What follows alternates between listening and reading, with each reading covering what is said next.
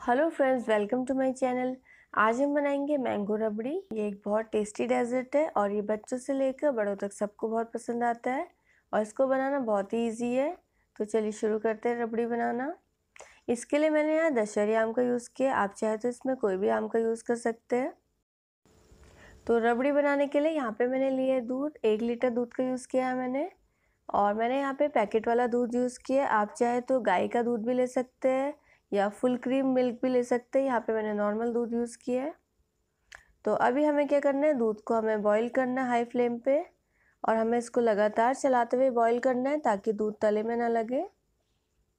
तो ये देखिए, दूध बॉईल हो चुका है और अभी हमें इसको 10 मिनट के लिए पकाना है।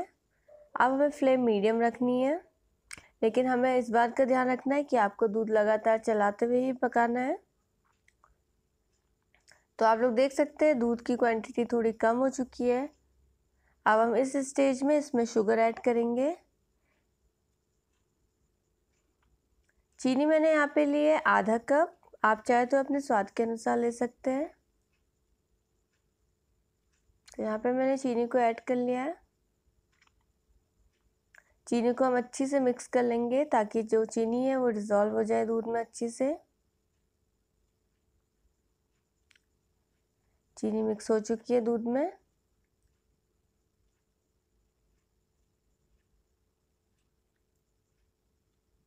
अब हमें इस दूध को तब तक पकाना है जब तक ये दूध आधा ना रह जाए।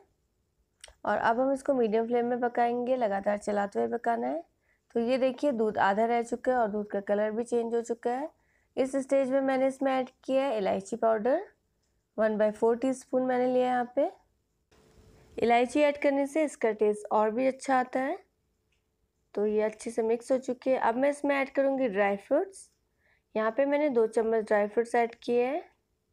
मैंने यहाँ पे बादाम और काजू को छोटे छोटे पीसेस में काट लिया था। इनको भी अच्छे से मिक्स करना है दूध में। अब हम इसको 10 मिनट के लिए और पकाएँगे। आप लोग देख सकते हैं, दूध गाढ़ा हो चुका है।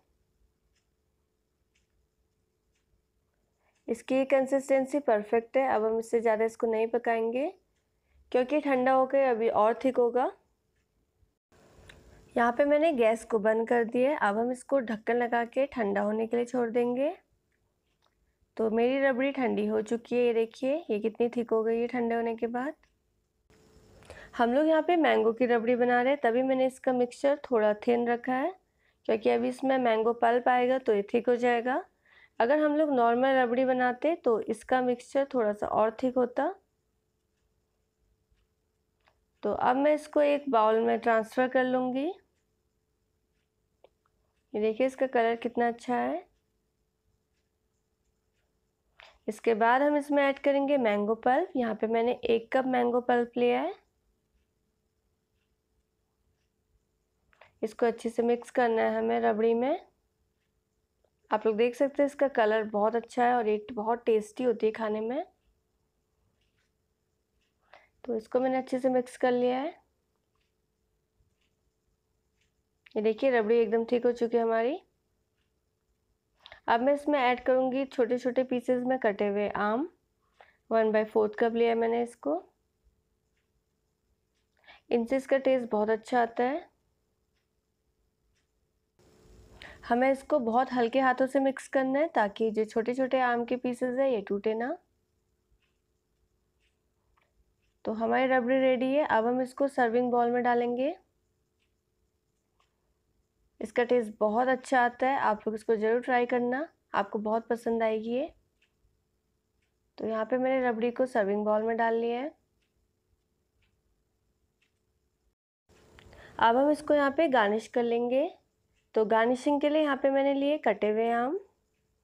मैं आमों को इनके ऊपर से डाल दूँगी। आप लोग देख सकते हैं कितना अच्छा दिखाई दे रहा है। इसके बाद मैं इसमें ऐड कर रही हूँ कटा हुआ पिस्ता और कटे हुए बादाम। सो so फ्रेंड्स मेरी मैंगो रबड़ी बनकर तैयार है। अगर आपको पसंद आए तो लाइक कीजिए शेयर कीजिए और मेरे चैनल को सब्सक्राइब कीजिए और बेल आइकन को प्रेस कीजिए ताकि जब भी मैं कोई रेसिपी डालूँ, आप तक सबसे पहले पहुँचे। Thanks for watching bye bye